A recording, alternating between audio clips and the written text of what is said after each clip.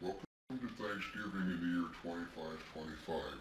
As you will see, or as you already know, turkeys are not exactly as turkeys used to be because of Gobble, gobble. misengineering. Gobble, gobble.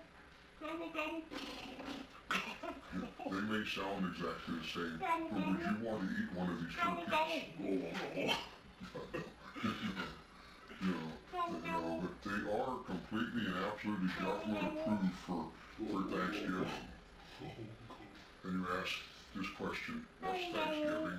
Well, it's a holiday that most Americans used to, you know. I mean, it should be, a really pathetic turkey looking thing, isn't it? Did you want to bite into that?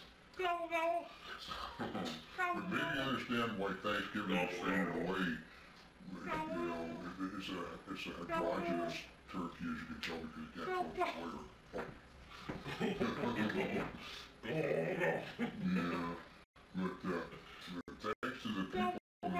21st century and their efforts to make turkeys more, more family friendly, which means uh, we had organizations decided that you can't eat those things. Boy, doesn't it?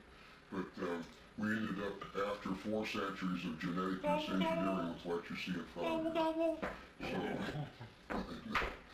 if you really want to eat this turkey, it's up to you. I wouldn't.